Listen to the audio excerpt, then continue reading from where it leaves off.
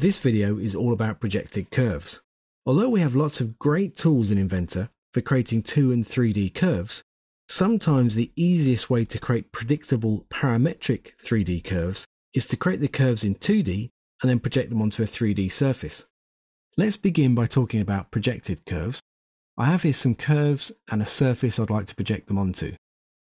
Now all of these tools are going to be found inside 3D sketches. So I'll begin by coming up here to sketch and create 3D sketch. The tools that we're going to be looking at in this video are here. Let's begin with a project to surface. I'll select project to surface. I'll select this as my face. And then for curves, begin by selecting these. You can see that we can also choose a direction. By default, Inventor is picked straight up and down. I'm going to choose this axis I've prepared here.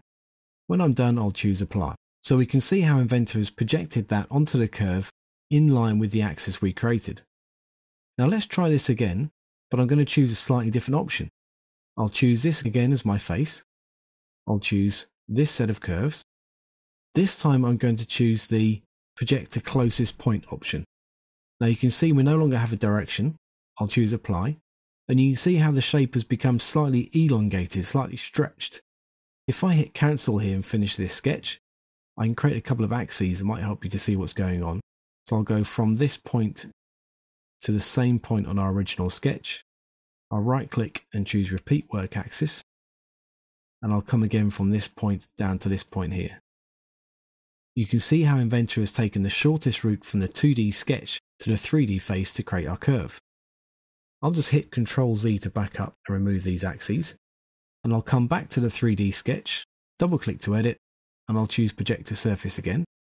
I'll choose the same face, and this time I'll choose this set of curves. Just make sure I've got all those curves. Let's take a look at the final option, which is wrap to surface. Now this time when I choose apply, we'll see the curve has been laid down onto the surface. And the thing I want to make really clear to you here, if I choose the measure tool, measure this line, we'll find it's 25 millimeters. I'll right click and choose restart, measure the same line on the curve, and we can see that is also 25 millimeters. So although the shape has been deformed to fit the curve, it's actually the same size. So if you're particular about the size of these for a slot, then this is the tool you need to use. One last thing, this tool is only available on curved surfaces, so that's sections through cones or cylinders. This won't be available to you if you build a surface from a spline. Okay, I'm going to finish up with this sketch, and we're going to move on to talk about silhouette curves. So let me pull down some geometry I've prepared for you earlier. Okay, so we have this sort of slightly asymmetric shape we're going to take a look at. And maybe we even pull this shape in from another modeler.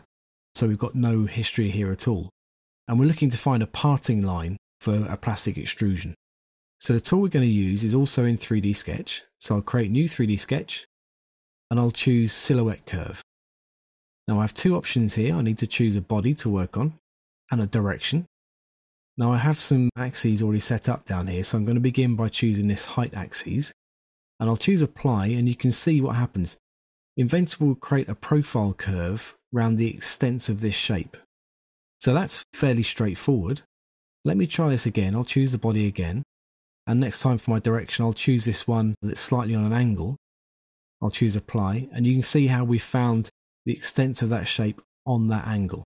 Now I'd like to show you how we might use that, so I'll just delete this first one. Once we've found the parting line that we want to use, we could then finish up out the sketch, create a surface patch from that geometry, choose apply, and then we could split that part using our new surface patch as our split tool, split body, choose apply, and then we can choose move bodies. I'm going to limit this to the one direction and we'll choose our height axes again and I'll choose apply to that. So we can see how we can find our parting line and create a split and then we could continue to shell or whatever else we need to do to this part. Just turn that boundary patch off. Okay, let's move on. We're going to talk about the final way of creating projected curves in Inventor. This is intersection curves. So in this case, perhaps we know what the shape is that we want to produce in height section, and perhaps we know what the shape we want to produce is in plan section. But we know that there's a 3D curve it's the combination of these two curves, and we don't know quite how to build that. Well, there's a great tool inventor for helping us work this out. Again, we're going to start by creating a 3D sketch. We're going to choose intersection curve right here. And we'll just choose the two curves that we want to find the intersection of. And we'll choose OK.